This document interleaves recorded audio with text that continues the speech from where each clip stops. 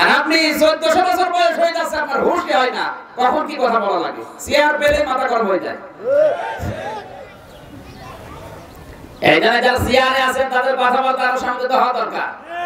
অহংকার যেন জায়গা না পায়।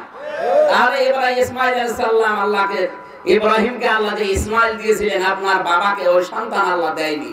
আল্লাহ আপনাকে দিয়েছে কেবে অহংকারী সন্তান। এটা দিয়ে জানা পাওয়া যাবে না। তাহলে বাংলাদেশে আসলামার ব্যাখ্যা হচ্ছে এটা এখন। এদেশে যারা শুধু মাথায় দেয়, চোখ পাকায় দেয়, তারা যদি চিন্তা করে দেশে ইসলামী রাষ্ট্র বানাবো সম্ভব না। কথা বলেন না কেন?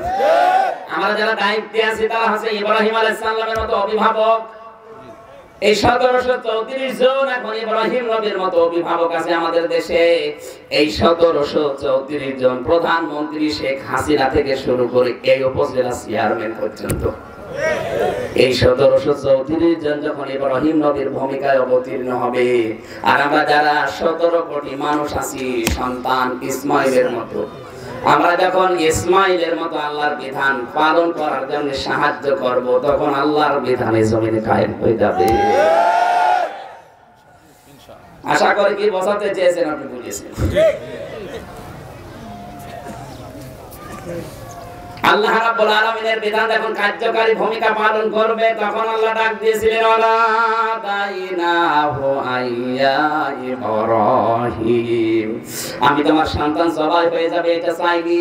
আমি চেয়েছিলাম তোমাদের ইচ্ছা আছে কিনা? আমি পেয়ে গেছি। তোমাদের দুইজনের ইচ্ছা, আমি পেয়ে গেছি। ইন্না হাদা লাহুল বালাউল মুবিন। ওয়াফাদাইনাহু বিসিবহিন আযীম। অবশ্যই এটা বিশাল পরীক্ষা একটা বাবার জন্য। আমি দেখতে চাই মানুষ আসলে আমার কথা মতো পালন করে চলতে পারে কিনা। আমি মানুষের ইচ্ছাটা দেখি। যখন ইচ্ছা দেখে মনে হয় যে পারবে, তখন ওই পরীক্ষায় একশো টাকা পর্যন্ত হওয়া লাগে না। আমাদেরকে আল্লাহ কিন্তু এই পরীক্ষায় ফেলে রেখেছেন। এজন্য অভিভাবক যারা আছেন, কিছু রাম বাম দুষ্ট ওই মোরতাদের কথা মতো আপনি এই ছিয়ানব্বই ভাগ মুসলমানের দেশটাকে অশান্ত করবেন না। ওয়াদা যখন দিয়েছিলেন মদিনা সনতায় দেশ চলবে। আপনি চালান আমরা সন্তান হিসাবে ভূমিকা পালন করব। আল্লাহ যেন তাওফিক দান করেন সরকারে বলেন আমি আমরা চাই আমাদের যারা দায়িত্বে আছেন তারা ইব্রাহিমের মতো ভূমিকা পালন করবে। আমরা যারা সন্তান আছি দেশে সতেরো কোটি নারী পুরুষ আমরা ইসমাইলের মতো হয়ে যাব। কথা বলেন ঠিক কিনা? যদি আল্লাহর বিধান পালন করতে গলাও দেওয়া লাগে, গলা দিতেও রাজি আছি। সাই চর্ম চোখে দেখতে এই ছাপ্পান্ন হাজার বর্গ মাইলের দেশে আল্লাহ কোরআন দিয়ে চলছে। এটা যদি চলে, তাহলে অন্তত মরেও শান্তি পাবো। খেয়াল করে শুনবেন। তার কেটে গেলে সেটা আর বুঝতে পারবেন না। তিনি ইশারা দিলেন ওই যে ওইদিকে তাকাও, দলনার ভেতরে দল খায় ওই শিশুকে জিজ্ঞাসা করো, ওটা বৈধ না অবৈধ বাবাকে? সবাই যারা সামনে আছে বলছে, কীভাবে এই দলনার ভেতরে শিশু কথা বলবে? আপনি কি পাগল হয়ে গেছেন? সঙ্গে সঙ্গে দলনা থেকে কয়েক মাস বয়স তিনি উঠে দাঁড়িয়ে বললেন "ক্বালা ইন্নী আব্দুল্লাহ। আমি আল্লাহর বান্দা, শুধু এতটুকু আমার পরিচয় না তানিয়াল কিতাব, আল্লাহ আমাকে কিতাব দেবে। অজাআলানি জামানার নবী করে আল্লাহ আমাকে পাঠিয়েছে।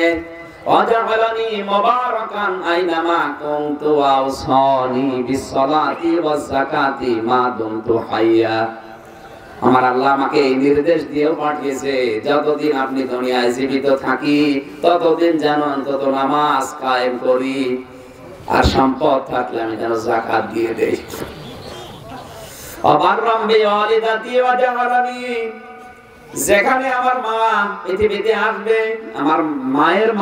আমি দুনিয়াতে এসেছি। আল্লাহ আমাকে নির্দেশ দিয়েছে, আমি আমার মায়ের সেবা করি। এখান থেকে কি শিক্ষা বের হয়? ইশারা দেওয়ার সঙ্গে সঙ্গে তিনি কিন্তু জবাব দিয়েছিলেন, আমি অবৈধ না, আমি বৈধ সন্তান। শুধু বৈধ না, আল্লাহ আমাকে কিতাবও দিয়েছেন, নবী করে পাঠিয়েছেন। আমার মায়ের চরিত্র সম্পর্কে যে কথাগুলো বলছো, তোমরা জনগণ, এগুলো একটাও সত্য না। আল্লাহ আমাকে দিয়ে মাত্র এই তিন মাস বয়সে কথা বলিয়েছে। পৃথিবীতে তিনটা বাচ্চা এভাবে ছোট বয়সে কথা বলেছিল। এর ভেতরে হজরতে ঈসা রুহুল্লাহ একজন। হজরতে ইউসুফ নবীর চরিত্রের সার্টিফিকেট দেওয়ার জন্য দোলনা থেকে জোলাইখার বোনের মেয়ে কথা বলেছিল। তিন নাম্বারে হজরতে তার চরিত্রের সার্টিফিকেট দেওয়ার জন্য একটা বাচ্চা মায়ের কোল থেকে কথা বলেছে আজ পর্যন্ত তিনটা বাচ্চা মায়ের কোল থেকে কথা বলা আরম্ভ করেছে। আমি যেটা এখান থেকে বের করতে চাই তার মায়ের চরিত্রের গ্যারান্টি দেওয়ার জন্য তিনি দোলনা থেকে বাচ্চা বয়সে মুখ ফুটে কথা বলেছিলেন। এটা আশ্চর্য না? তিনি বলতে চাইলেন, আমি যে বৈধ সন্তান, এই কারণে আল্লাহ আমাকে কিতাবও দিয়েছে, নবীও বানিয়েছে। এজন্য আমি যেখানেই থাকি, সেখানে বরকত দিয়ে আল্লাহ ভরে দেবে। ওয়াজালানি মুবারাকান। আইনামা কুনতু যত যেখানে আমি চাই সেখানে আল্লাহ বরকত দেবে। এখানে বৈধ ছাড়া ওরা যেখানে হাত দেয়, ওখানে আল্লাহ বরকত দেয়। আর যারা অবৈধ, রাস্তায় হাত দিলে খেয়ে ফেলে। কোন দিকে যাচ্ছে আপনি তো টের পাচ্ছেন না। আপনি আন্দাজে হাসেন, আপনি টের পান কি বললাম? বৈধ আর অবৈধ জিনিস, অনেক আকাশ পাতাল।